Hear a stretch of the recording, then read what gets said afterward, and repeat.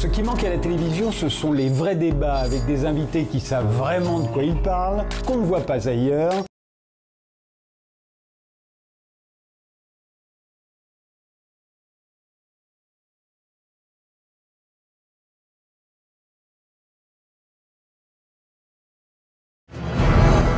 À m'intéresser à j'ai vu se naître et se développer en Belgique, mais aussi en France, l'idée que cette affaire ne pouvait pas être liée à l'incompétence des autorités, mais qu'elle était sûrement liée à un complot, à un complot des élites, des élites pédophiles qui euh, avaient couvert ou organisé les crimes. J'ai vu, par exemple, la- une certaine euh, une certaine euh, croyance, enfin un certain crédit pardon, accordé à une personne qui avait été écartée par les autorités judiciaires, celle qu'on a appelée le témoin X1, qui s'appelait Regina Goff, qui a fait des livres elle expliquait que dans les grandes marques, les, les élites euh, poursuivaient avec des flèches les enfants qui avaient été enlevés. On m'a dit qu'il y avait une cassette aussi. Des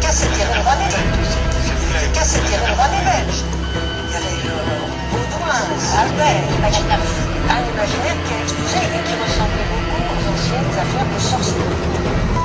Et je pense que là, je ne vais pas être très populaire dans cet homme. Ah, je ne vais pas être très populaire dans cet homme auditoire, mais je vais dire que je pense qu'on peut peut-être revenir un peu dans qu'est-ce qui fait un serial killer comme ça. C'est peut-être aussi le sentiment d'impunité qu'il a quand, après avoir été arrêté deux ou trois fois, dans le cas de Fourniret, avoir été condamné à 5 ans puis libéré euh, au bout de trois ans de prison et effacé du casier judiciaire, avec une correspondance qui n'est pas surveillée, épouser une femme avec laquelle il a fait un pacte diabolique, évidemment c'est facile, on le sait après, mais voilà. Et puis, quand trois ans après il est arrêté, il est traité comme un primo-délinquant. Comment ne pas avoir un sentiment de... Je pense que ça a dû jouer, voilà, dans la construction d'une idée. Si- Vous parliez de défi à la loi, mais la loi, elle, elle sait pas. Bon, moi, je ne suis pas pour euh, mettre tout le monde en prison parce qu'il pourrait être dangereux, mais je pense quand même que si on appliquait simplement les règlements qu'on a faits, si euh, on ne mettait pas de la bonne conduite à tout le monde, et pour Fournira en, en- en prison, il était parfait, ce serait peut-être plus réaliste. Et on aurait peut-être moins de, si vous voulez, à ce moment-là, on aurait peut-être moins la possibilité que la démagogie se, se fasse jour. Il faut éviter de, de tomber dans, dans les fantasmes euh, des Pas peines. de fantasme. Mais si, bah moi j'en parle. des peines qui durent euh, une éternité, des peines qui sont appliquées Il jusqu'au condamne à bout. 5 ans, il sort au bout de 3 ans. Non, Pourquoi non, non. C'est la même chose avec appliquées jusqu'au bout parce qu'on s'imagine que c'est comme ça qu'on va régler tous les problèmes. Mais si vous allez dans une prison, si vous êtes gardien de prison, si vous vivez réellement ce qu'est la détention, vous sauriez qu'on ne peut pas garder les gens jusqu'au bout de leur peine parce que c'est la négation de la peine. Une peine, c'est quelque chose, je suis désolé d'en parler comme ça, mais c'est quelque chose de vivant. Et c'est quelque chose qui accompagne la personne qui est en prison. Donc si vous ne donnez aucun espoir à la personne qui est détenue, vous transformez ces gens-là en désespérés.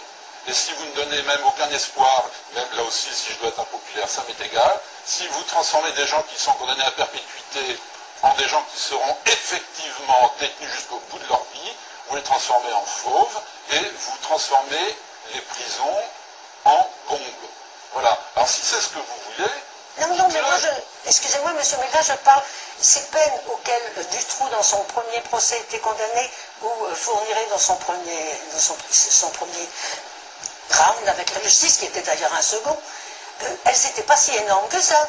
Écoutez, madame, c'est une cour d'assises qui a condamné Fourniret en 1987 à 7 ans d'emprisonnement, euh, dont deux avec sursis, avec une mise à l'épreuve après. C'est un jury populaire qui l'a fait. Et c'est un jury populaire d'ailleurs qui a même dit qu'il n'y avait pas viol, mais qu'il y avait simplement agression sexuelle. Et c'est un jury populaire d'ailleurs qui a même dit qu'il n'y avait pas viol, mais qu'il y avait simplement agression sexuelle. On peut regretter tout ça, mais euh, Mais il ce est sorti sont quatre mois après.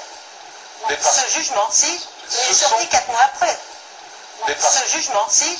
Si, si, il est sorti Ouais, à parce qu'il avait fait une détention avant. Il avait fait une détention avant. oui, oui, oui. Il est resté 4 ans en détention euh, depuis. Euh, problème qu'on voilà. peut peut-être poser, c'est que on ne peut pas savoir. Casier judiciaire, pas d'histoire. La, la dangerosité, c'est un, problème à, à évaluer, mais on ne peut pas savoir d'avance que tel euh, criminel qui a commis tel acte va ensuite euh, forcément euh, récidiver et commettre bien pire. Donc on ne peut pas. C'est, l'impression que le fichier des incidents bancaires d'une personne est tenu avec plus de soin que le fichier de ses démêlés avec la justice. Le fichier des incidents bancaires d'une personne est tenu avec plus de soin que le fichier de ses démêlés avec la justice. madame, C'est ça que je veux dire. Parce que l'histoire des disparus de Lyon, qui est une histoire emblématique des faillites de, non seulement de la justice, mais de la police, de la gendarmerie, ce qui revient au même. Bon, dans le cas, dans le cas des disparus de Lyon, ce qui est effrayant, enfin moi ce qui me frappe beaucoup, c'est que les victimes étaient des déficientes mentales dépendant de la DAS. Donc ça n'intéressait personne. Bon, le gendarme Jambert, qui a fini par se suicider, comme chacun sait, deux, deux balles dans la tête tirées de deux angles différents, et on a retrouvé sa carabine à un mètre de lui. Euh, ça n'a pas empêché les experts de conclure au suicide. Bon, dès euh, 1988, et même, je encore auparavant, Jambert avait identifié Émile Louis. Mais comme ces victimes qui étaient des pauvres filles, sans famille pour la plupart, qui dépendaient de la DAS, ça n'intéressait strictement personne. Et on a mis dix ans avant de retrouver, enfin de retrouver, d'arrêter, un peu par hasard d'ailleurs, parce qu'il avait commis d'autres euh, euh, sévices sexuels. Tout à fait.